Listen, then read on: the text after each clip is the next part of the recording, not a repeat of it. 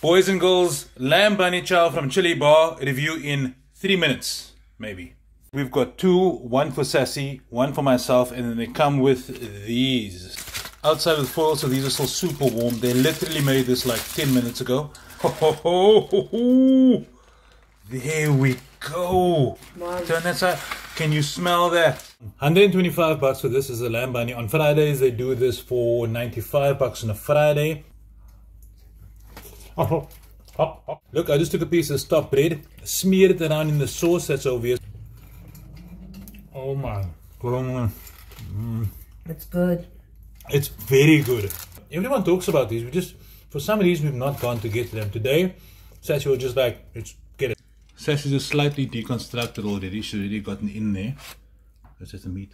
Look at the sauce on the inside. Oh my goodness. Potatoes in there, lots of meat. I've already had two pieces of meat. Covered it. Mm. And mm. Nice proper curry. Mm-hmm. Very nice. got myself a piece of potato here. Mmm. Potatoes are done perfectly. Firm, not pop, lots of good flavor. And the curry flavor, the real curry flavor comes through nicely. Some balls you put on there now. It's got, um, what's in it? Onion? What else? Carrot cucumber. Is it good? Yeah. Listen, you know how when we always talk about Gatsby's, and a lot of the time they say the Gatsby is spicy, and it's like, it's like not spicy. Oh, this meat is delicious. Melt in your mouth, lamb. Here's the lamb bunny. Um, spicy, right?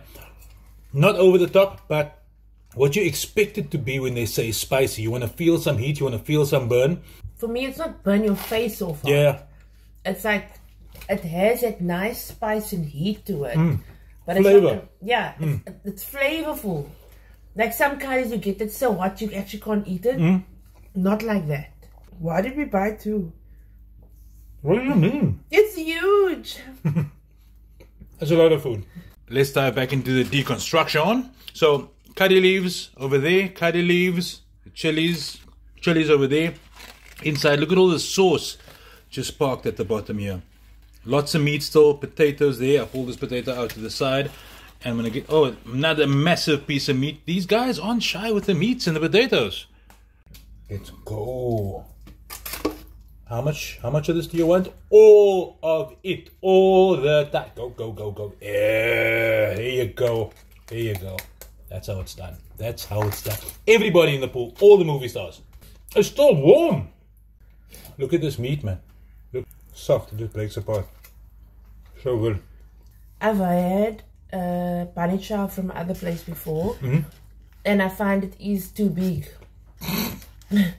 so I would say that But then you said this was huge. this is huge, but I'm saying the half a loaf.